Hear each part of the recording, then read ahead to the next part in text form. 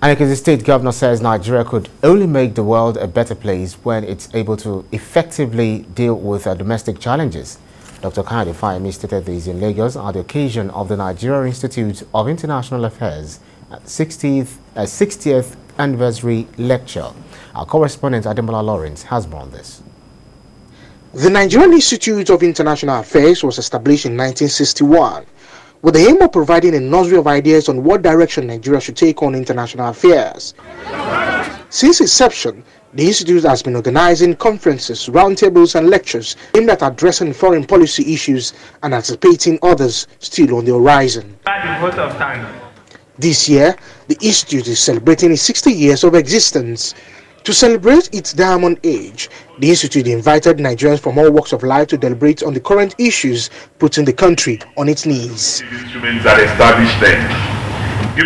Delivering a lecture on the topic, Fixing Nigeria for a Better World, Ekiti State Governor wants Nigerians to look inward and work assiduously to tackle a domestic problem so as to assume the leadership position that Destined had bestowed on her in Africa. The more involved Nigeria is in the affairs of continental and sub-regional organizations that it belongs to, the more dynamic these institutions are in carrying out their mandates.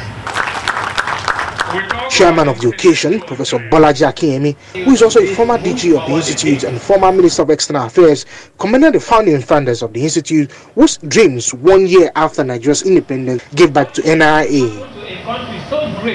The DG of the Institute and some dignitaries while speaking to journalists said the country's foreign policy has so far helped shape the position of the nation to the rest of the world. Institute's place to promote the understanding and the appreciation of the linkages between our domestic environment and our foreign policy, our foreign environment. And from this lecture, you have seen that nexus very concretely. The need for political restructuring. And in this case, he's talking about dialogue amongst ourselves.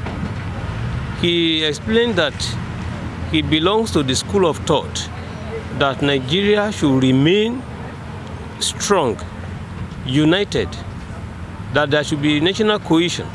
For the Institute, despite the myriad of problems encountered in the country, it is still yearning for highly resourceful, focused, selfless, and visionary leadership that can galvanize and mobilize the required assistance and guidance to leave it out of anguish, and only Nigerians could do that. Ademola Lawrence TVC News, Lagos.